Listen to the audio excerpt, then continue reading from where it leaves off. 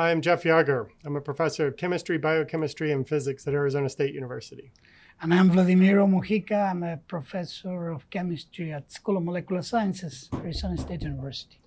So, Vladi, um, looking and teaching uh, BCH 341, which is physical chemistry for the, with a biological focus. And I would say we even have a specific focus, being in the molecular sciences, kind of a molecular focus uh, when we're doing this. And we have a website where uh, where a lot of this links to uh, information related to this class will be. Um, but one of the things I think we both liked about using Atkins as a guideline or a textbook to looking at, at physical chemistry um, in the life sciences or, or, or for biochemists or people who are biologically focused is they do a really good conceptual job of, of discussing things in a way to give you real conceptual understandings of material, not just pragmatic how to work problems. And so we've been making a series of, of lectures kind of going through several of these. And one of the ones I got explicitly asked about um, by a student is this one. And uh, it really just it, it says explain the limitations of the following expressions, and it gives two expressions. But I think we could literally do this infinitesimal number of times. And I like to start by saying, I think one of the things I have seen in teaching kind of physical chemistry at the undergraduate level numerous times over the years is uh, what I call a fundamental issue that a lot of students have, which is um, they really just try to use a concept that worked okay for them in introductory chemistry, which is they look at the back of every chapter and they have a summary of equations. And, and half the time we even allow them just to bring a summary of equations or a cheat sheet of equations in with them in exams, right? Because we tell them it's not about memorizing equations, right? But what they what this propagates is they just look for the right equation to solve the problem that they have. And while that often works at, at, some of the very introductory levels where we're teaching, where the problems we're giving them are often just one step, or what we would often just call crudely plug and chug type problems, by the time you get to more advanced levels of physical chemistry, this rarely works. It's rarely just plugging in, you know, some distilled equation that fits a specific problem. Usually when we're trying to teach concepts and and problem solving, we're now getting to multi-step problems. Right. And this particular equation, it's a, it's a beautiful example of that. Because when you try to establish a difference between energy, that's the U you have there, and enthalpy, that's the H you have there, both of them are energy variables. So in principle, you might go back to the definition of energy as the ability to do work and then ask the question, so if energy is that, what is enthalpy? Right. And in, in, so it, it, turns out that they are, they are very much related, but in, in this definition, there is something that you do that remove the PV work from the equation. And in doing that, you eliminate something that in chemistry is very important. Well, it depends on what you want to do. Because, for instance, if you want to talk about bond formation and breaking, you don't want the PV term there. And this is what enthalpy does, does for you. Yeah. It, it gives you a direct measure of how bonds are formed and broken in a molecule. You can do it with the total energy, but then you will have to be subtracting the the ability of these molecules to do work. If you want to concentrate it on the bond, so, so from the chemical point of view, enthalpy is a wonderful tool. The other two, but it depends on what you want right. to do. And, and, and, and, this is what is reflected in this equation. I mean, you don't see the full mathematics, but if you did it, starting from the definition. But like age, you said, I, I think that's even, that's such an important point. I think it's even worth, in fact, if, if students ask me, like, I tell them, you know, never just, you know, yes, there's a lot of convenient equations that get used under very convenient, but knowing what all the assumptions were, how they were derived, that's really where most of the understanding comes from. And if, if students ask me, well, how do you, I always, like you said, like, you know, I always start definitionally. And like you said, like, you know, the definition of what, um, I don't know how that, uh, of, of what the enthalpy is, is, you know, it's directly related to just the internal energy. We could write, you know, other ones like the Helmholtz free energy. We could write the Gibbs, you know, free energy. Um, and because this is defined as H, we often write this as H minus TS. In other words, like you said, and these are all energies, right? These are all energies, and we use them at different times. I the way I even like to explain it to students is just like sometimes we use polar coordinates versus xy, you know, versus mm-hmm. Cartesian, etc. We move to different reference frames for energy because of their convenience factor in in understanding the problem that we're looking at. Yeah. Um, and and you know oftentimes in fact how this one gets introduced initially is often uh, almost in every introductory chemistry and, and physical chemistry book it starts getting introduced by its idea of eliminating mechanical work and giving you an energy that's just related to heat associated right, with the right. system. And then you see, if you look at the definition you just wrote there, H equal to U plus PV. We could we can figure then, this then out very simply. The, you we see can just take the derivative. Right. You see that there is a missing term there. Yeah, we can take the derivative. In fact, I would write it most generally like that. Right. And then we can expand uh, through PDV plus VDP. Right. And, and, it, and, and now there's a contradiction, right? right? Like now there's a contradiction to this equation. So there must be an assumption made. Right. And then you see that the assumption, just by looking at this equation, you know is that is. that equation is valid if you consider a process a constant p. Yeah, if delta p is if delta p is equal to zero, a process a constant p, then you can write delta h equal to delta u plus p delta v, and there's no approximation. If you establish the constraint that that equation is a constant p, right, then we're fine. Yeah, exactly. Yeah. So, and and I think you know doing some of this deriving through and and and keeping it you know at this level i think it's also important to start looking at this kind of at a cal- you know calculus based perspective. You can always you have one integrate minor, minor mistake there. The, the, the last one. Del dh equal to du you wrote dh on the right hand side too.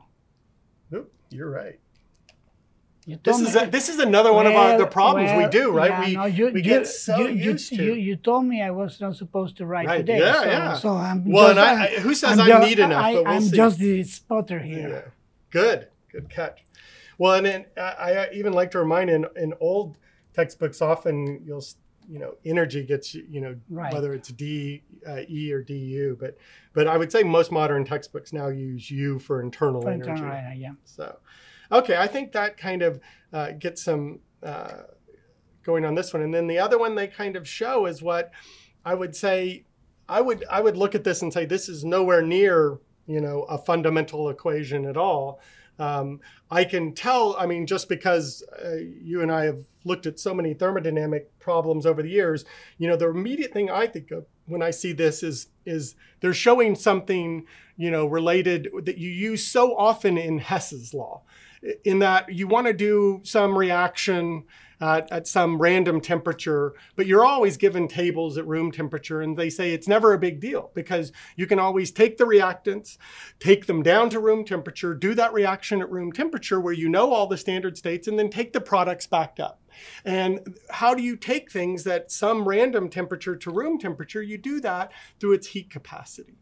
Now, it simplifies to this type of equation when those heat capacities are temperature independent so that you can literally just say it's delta Cp in that it's independent over the temperature range from right. whatever which, T which is, prime I mean, is to if, T. If we want to think of that expression as an operational expression, you are linearizing. So you are looking at the linear behavior, linear change of in, in enthalpy with temperature change. Now you can think of this if you if you are more uh, you know more savvy in mathematics, then you might look at this as a Taylor expansion, and then you will see that you are taking the first term. Sure. Yeah. So you have you have the a, a temperature independent term which is delta H naught, and then you have a second term that was linear with the temperature. So now again we have this kind of connections. That if you are able to, to think of the Taylor expansion, then you understand that there is a mathematical connection here, and you're doing nothing very different. You, and, and, from the, uh, let's say, from the experimental point of view, the operational point of view, you are studying changes in enthalpy that are approximately as being linear with the temperature, which is equivalent to say that you are Taylor expanding your function, and then you are picking up the linear term. Right. And then I think it's appropriate based on you know where this chapter is going talking about from things kind of from a molecular standpoint like you know just like the last one you know like how good are the assumptions that you're often at constant pressure well usually you know that you're doing in a reaction you're doing in an open atmosphere you know you're at constant pressure good assumption you know what the, the major assumption here is is that the heat capacity over this temperature range is scalar or independent of, right. of temperature. And you know, how good of assumption is that? Well, you would have to know the system. You would have to know the temperature range in the system. But just speaking, you know, observationally, you know, if this is covering a very large temperature range, especially as you get to really low temperatures, then that's a horrible assumption. Right. But if it's covering yeah. a higher temperature range where there's no phase transition, there's uh, and you know what I would call once you've already gotten past all of the you know vibration you know getting up through most of the vibrational degrees of freedom etc then it often is a very good assumption yeah and and this brings us back to our previous discussion heat capacity measures how much the temperature of the system changing with changes when you put in heat or energy into the system now if you are at very low temperature now our previous discussion you perturb the most out of the yeah. system when it is a very low temperature and you add a little bit of energy. Now, that approximation, as you just said, can possibly work at very low temperatures. At very low temperatures, you have a way more complicated behavior. Now, right. statistical mechanics, going back to our previous discussion too, give you a limit where that is going to work out beautifully. Something called in statistical mechanics the equipartition theorem. When you are in that domain, that each energy term, each quadratic energy terms contributes with one half kT to the heat capacity, then you know exactly that you can use that because right. the heat capacity is going to be a number. That, and this is something they see. If you just you, Wikipedia you know, heat capacity, one of the things that it'll classically show you is here's a monatomic gas, here's a diatomic, here's a triatomic. Right. And what does it sit, and how do you figure out what each of those terms are? And, and just what you said, like you yeah. start using. Um, and if you go to a solid, in their domain where heat capacity is constant, then you have something called the Dulong-Petit yeah. law that allows you, it, it, it was one of the first methods to determine atomic weights, in fact. Yeah. Yeah, exactly. And so I do like to, you know, and for for students who are looking, you know, you know, uh, like we did for the last one of really kind of deriving where this comes from, you know, what I would encourage is like we said, like starting with what I would say is very fundamental in, you know, any freshman chemistry on type class. Like you said, you want to do, you know, at some you know random temperature maybe not a standard state temperature um, you can always, you know, take these to the temperature of a standard state of 298 of where you have the tables um, do the reaction and come back down and you'll see that it's these components that if they're scalar independent will give you this delta you know cp term mm-hmm. that it's the adding and subtracting of these change assuming that it's just a CPDT term and that it goes through um, that the integral goes through there that it's constant. Right. So that gives us the opportunity to uh, to mention that the R, the sub-index R in all these things in this equation is the delta reaction. Yes, and so, and I think that is, and some people will write it RXN to be exactly. even more explicit. Right. Some people will put it, you know, on this side and, and this is, I get a practical frustration for students that there's several kind of nomenclatures used and where you put a bunch of the subscripts and superscripts. But I, I really encourage you not to get lost in that and realize how homogeneous a lot of these things look. And through understanding just a few of basic you know nomenclature things in thermodynamics and math, I think it gets you a long ways. Yeah, and we leave that for students to see how this changes if you put different stoichiometric coefficients. Yeah, in front exactly. Because energy turn, and enthalpy too turns out to be an extensive quantity, mm-hmm. except if you divide by by the total the molar. So you have to be, to be mindful of that. That for the way this reaction is written with uh, a stoichiometric coefficient equal to one, that is just that. Fine. But if you have to be careful. If you do anything more. Yeah. And I think it's something that I think it's very worth mentioning because it, it, it's so confusing to students. Half the time when they see this, but they look up these tables and it's always joules per mole. And so really what they're being given is, and there's several ways to write this. Some people would write it with a bar over the top. Some people would use a small h to indicate that it's a molar quantity. But we do that so often that we use, in a sense, the we don't take these extensive variables, typically energy variables, uh, but uh, and we often make them intensive by making them molar quantities, yeah. and we don't we don't even really discuss it. And and oftentimes books go back and forth without ever yeah. even. Uh, you know, really explicitly stating it. The and same is hundred percent true with heat capacity. Exactly. You and, and should you write it you know, to explicitly let them know that it's a molar quantity or a lowercase? Yes, but it's very common that people just leave that. You can tell by the units alone whether it's molar or not. Yeah, absolutely. Because if you if you do if you don't use molar quantities, then this becomes a huge number. I mean, it yeah. would be the same as giving our weight in, in nanograms. Right. So each time we say uh, your weight in nanograms, you will have to multiply it by 10 to the 9 to bring it to grams, and then something to bring it to kilo. So it would be very inconvenient to say that my weight is 10 times to the 10 right. nanograms or whatever.